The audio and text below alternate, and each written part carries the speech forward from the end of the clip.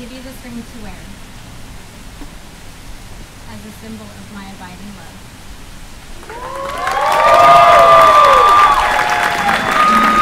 Ladies and gentlemen, may I please introduce to you Mr. and Mrs. Joshua and Candice Lynn.